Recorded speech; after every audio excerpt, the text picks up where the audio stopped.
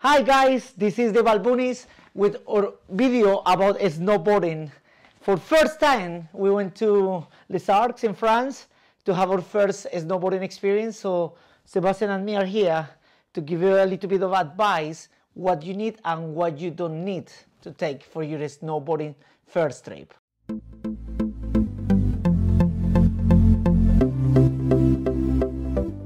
We're going to be starting off with the um, the gloves. So you want to first get gloves that are like like you want to get them like like not like a leathery like a ones like you don't so the the snow don't come inside. This is the gloves for the snowboarding, yeah. When when you are doing when you are basically right in the trials, uh, going to the to the to the to the runs, yeah. So yeah, And you see, because a lot of times that when you, when you don't when you put them when you put them on, and you don't fasten them, you can see they have a little bit of space here. So you want to get them tight here. So you, you want to get them tight on. for not get the snow inside. Yeah, to not get snow. Yeah, we have that. I mean, you can get good quality gloves from different places. I got these ones from Costco. And, uh, we're here in the UK, and these gloves cost me only like I would say six, seven pounds, but they were brilliant. I used them in this first trip, and I love it. They were nice and warm. And also, the good thing about these gloves is that give you space to use wristbands, uh, wrist protectors. Sorry, Yeah. that's something that we highly recommend to use because unfortunately, on the was in the fourth or fifth day Fourth. fourth day, uh, I, I, when I was feeling really confident and I was so much into my snowboarding, uh, that was in my fourth lesson. I was really learning so well, and I was trying to go through through, through there flying. I just went overconfident, and I didn't have the wrist protectors. So these gloves are highly recommended. So gloves, gloves for the snowboarding. So that's one of the things we need now. I would like to talk now that we were talking about the gloves, about the wrist protectors. So the wrist protector has well, thing we have. It has a metal bar here, if you can see that. How to use them? It's a like metal yeah. thing here. So you want to put your hand through there like he had, and then strap the thing around his wrist so it is like that, and you're safe, and you have the still the metal. It's like a metal protector. yeah. It's really hard. So basic, basically, when you when you snowboarding, normally you it's only I think it's two ways you can have a fail in the floor. One is have a face plant when it's when you catch the edge of the uh, Snowboard. uh, snowboard to the front and you just face plant. The first thing you send to protect yourself is your hands. Yeah. Or if you go backwards, you put your arms like that, and that's what happened to me. So highly recommend get some of these. Is this is a must-have for uh, for your first snowboarding trip, isn't it? Yeah. Right now, them to the side. do you want to go with the thermals? Th- That's the, what, what you use on that? So my thing is that you put you you put your top on like like your fleece or something on. I had a fleece, so so you first you put your thermal tops. I got these Adidas I think from Yeah. Adidas. And we go, these yeah, we had Newcastle. Yeah. thermal undertops. So then you want to put this on first. Then after that you want to put a fleece on, And the pants as well. and then these thermal pants. So- underneath. from the thermals, I think we use four thermals. So for the thermal, for thermals, uh, Sebastian used four of them during the six days we were doing snowboarding. I mean, children don't tend to sweat too much, but he was using thermal top, In pants. thermal pants. We had That's a white pants and we had a blue pants. yeah. You can buy them from Decathlon for probably it was like three pounds per tops and for uh, pants. So highly recommend to go to Decathlon in the UK. Also in, in France, we saw some Decathlon, so you can find them in there really cheap. Don't spend a lot of money because you don't need to spend massive amount of money uh, getting the thermals. So you got your thermals, also uh, socks, no? Socks, because this is for the boots. So this is that is special for the snowboarding, isn't it? Because yeah, because if you get when you need a thick, just socks, yeah. Because because your boot is like it's like a round base, but like when when it's like when you go deep, you need a sock that that keeps the space and makes it tight. If if if it's not really tight enough, you, you'll probably be tripping a lot in the thing. And also, if you hire your boots for snowboarding, then probably I will. We suggest to do that for your first trip. Don't buy just yet because you don't know if you're going to enjoy it. I mean, we love it, but not everybody. okay, not everybody um, enjoyed the first trip, you know. So we recommend you to. Uh, tr- you remember what happened to you? You didn't. Tr- you didn't have them when they hire people. You know when you hire The equipment. people Yeah. come to hire, so you so they get you so they get your boots and see what to. So if- if they feed you. I I didn't put these socks on. and You have these cool ones. Not these. So then so then I have. Then when I put them on for one day, I have like a black brown thing on me. Yeah, because he didn't put this to try the boots. So make sure if you haven't used this before putting your boots for for for hire. Okay. So next we're gonna move on to the Balaclava, you think? balaclava. Yeah. Do you use them? I I neck. I don't think you really need it because you have the uh, neck neck warmers that you can. ah use you can well. you can use neck warmers. The thing is with the neck warmers, they could be very thick. You know, with this one, just try it and put it on so you can show. The, So look, so look. the, it's yeah, two ways to use it, So, no? yeah, so so you can just put it on like this. That keeps the thing. That keeps the thing here. Try the helmet so, So you you can, can- put the helmet on so So you have this here. So you have your thing neck. protect your neck. Yeah, put it on so. See, and your ears don't get cold and and yeah. So then you It's put very your helmet comfortable. on. Yeah. you, you feel much better because you have your neck on and then you have your I highly recommend as well using your goggles because I've when I didn't put me goggles on loads of snow sprayed on me when I fall so just put your goggles on like this and then you're just ready to go Yeah. snowboarding Yeah, that's good, man. What about ah, uh, with the balaclava? Just take the helmet, Seb. With the balaclava, the other thing is you can, if you want to use as a neck warmer, you just push it back here, and and you got your protected. Right. Next one, uh, the jacket.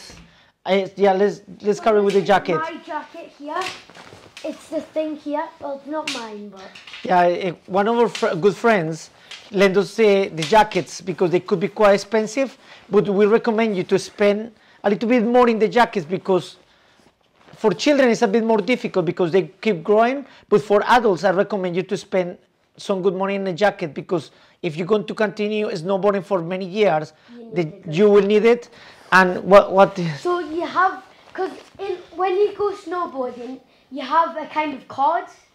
That's pr- The- pretty lift pass. expensive, yeah. So you can use the outlift that takes you up to the mountain, so you can come back down, and that's this thing here, and it says you, it should say your say your name here, and that that will probably go. If you have one, I highly recommend that you could put it into your pocket here. So, because you can just put your thing here, so you like to pass it's like when you go to the metro it's similar like when you go to the metro isn't it? You just scan it so you can go through quicker because all the time you will get a lot of people behind you like people in a ski or just snowboard is as well? But people in the ski tend to tend to move quicker than us in the snowboards so it's good to have it in a handy pocket isn't it? In the most of the jackets got one in here and there in here or if not in your pants. So what else about the jacket nice Yeah, a good one. Pockets here, and then if you how many pockets do you use? I mean, you use a lot for the sunglasses, no? Five, six. The- I used. I had six. I had six pockets, and if you if you carry your phone, I recommend the pockets from inside, because from here you put your stuff also, and it's hard to grab it. So you want to just put them on your on your inside pockets. What about sunglasses? Do you use sunglasses? I, didn't use them, but I use them. I use Most of the goggles, Yeah, yeah. Well, when you're eating and it's really sunny, you can just put these on while eating stuff. So I, if I'm not using them, I just put me in my pocket, and then yeah. And don't forget this one, very important for your uplift pass. Be careful, guys. If you lose this card, it's really expensive to get. I, I don't know if you can get one, but basically, this is what you pay 200 and 300 pounds because it's your uplift pass for all the week. So, so just be careful not to lose it. It's important to keep it in a good place. Right, okay. Yeah, you want to probably after this we need to show the pants, no? Mm-hmm. I bought for Sebastian some good quality snowboard pants. I bought them from Sport Direct. Uh, the quality was really good. If, uh, just pass it over. Yeah, I've got that now. Let's get rid of these jackets. So, that's it. So look, so here's my pants right here. We bought these from uh, Uh, Sport Direct. Sport Direct. They have two pockets here. Lift it up so they can see it. we have two pockets here. There, one, two pockets, and then that's all we have. This is extremely important. These straps you're supposed to use these because if you don't put them on like that, Snow. you, you, the snow is gonna start wrapping up in here, and you're gonna have a flipping ice cube on your bum. That's right, yeah. And also this is well for uh, going that goes Yeah. inside the boot. Uh, the snowboarding clothing normally is very uh, it's like bright colors, and it's because if you have if you for example you you fall, the people who is coming behind can see you easy. So it's very important to wear something colorful that people can see, and more if you're a beginner, because we we failed quite a few bits and. So uh, the people more experienced tend to how you call that when they like, Spray snow. spray snow on you. So they do it obviously because they they're more experienced and they want to just be cheeky, you know. But this is very important. Uh, just a jacket or pants, then people can s- see you in the tr- in, in the runs, yeah. So this is the jacket I was using. So again, a good North Face jacket. That's again was lent by one of my good friends who goes snowboarding every year. There's a North Face jacket, and I think it was co- co- cost him like 300 pounds or something like that. But they could be expensive, but this jacket was brilliant, so I recommend you to check it out. Apparently, in April, May, when the snowboard season pass in, in Europe, you can check online and probably you get some good offers to get good prices for these jackets. Right, so jacket, we got jacket, we got the pants, that's the men's pants for, for, for adults as well.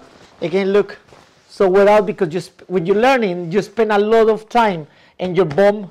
So if you find online something you can wear under your pants, because you will be basically hitting the, the floor all this a lot. Because when I'm doing, when, because there's a, this is, there's The a thing called uh, heel edge. It's where you snowboard flat on the ground here, then you have to stay upwards so you don't go straight down. And that's where I went to, I leaned too back. And you then keep falling my bum in your all bum. the time. And then I, I had ice all over where the straps are. Now goggles, goggles and, and helmet. I will say depends the depends what you what, what you want to like what you can afford. But the that, that helmet from Sebastian cost 20 pounds in Decathlon. The gold goggles was 15 pounds. This one is a more expensive helmet because it has vents, so because it gets quite hot. I we know you are in the snow in the mountains, but it gets really really hot and you boil. So I will say for the first trip, if you want, uh, rent one, hire one. But uh, personally, I think a helmet is a bit hygienic if you get an, uh, your own helmet. This helmet is really, really good. So, and the goggles, goggles are really important as well. Um, this this one with the um, The thing about oh, this is mad because uh, I was gonna say because um on on the snowboard thing you you're probably gonna have this stuff here because once once my friend had went snowboarding and then he didn't have the stuff here so you could still see the marks on it. All right, okay, that's good. Right, okay. Now, something that probably I will say is important, but probably you will realize is a hat. A hat. When you when you normally you snowboard from nine in the morning or eight thirty in the morning, nine o'clock we'll say to around about lunchtime. After lunchtime, you are so tired that you want to go. You want to just take off your helmet, take off your jacket. So that's what is important to have a good fleece, a good under um, thermal Yeah, yeah, and a good hat. This hat we bought it from Amazon. It came it came the hat with the with the neck warmer and it's amazing. This is really good and it cost me only like uh, nine pounds. I bought one for Sebastian, one for me. So I show you. You just get like Because you've got two uh, ends two types. here. It's like fluffy and a, a Yeah, wood thing, isn't put- it? You want to make sure that the one that has the most here, you want to put at the front. Let's put it on. So you got this thing here like that. So even if you use using the the warm here for the neck, is still good. But now, if you finish snowboarding, you just take this off, yeah. Then you can just put your hat. Put your hat on. But look, this is brilliant, and you can use it also if you're going out in the night time after the lesson. So after you finish snowboarding, and if it's if it's really cold, you can just cover it like this. So I will put. That's it. It's quite good. I go. It comes for children and for adults, and from the same company, you get some good um, quality gloves. Thank you for giving my hat. some good quality gloves So I put, I'm going to put the links in the description uh, for guys if you want to check it out and see what equipment we use. Again, uh, I will say for your first trip, do, just don't spend a lot of money in, in equipment. You know, like hire the hire the snowboard, hire the boots if you if, Yeah. if you want, just try it. Normally, the snowboards about about I, I think our friend John got it about 200 200 pound or 300 That's why you pay. Yeah, that's what they got, and then you start putting wax on it. Because if you make yourself one, well, if you get one, buy one. You have to maintain it. You can get it's you can put your own wax on it and put all the wax so you can make it better and slippery. Ah, right. That's a good point. Yeah, probably if you hire, they won't look. They, they will give you some Wax, safe, yeah. Safe snowboard, but probably it's not going to be as good if you have your own one. But again, I will say this will be for the second trip. Hopefully, we'll go again next year. That's our plan.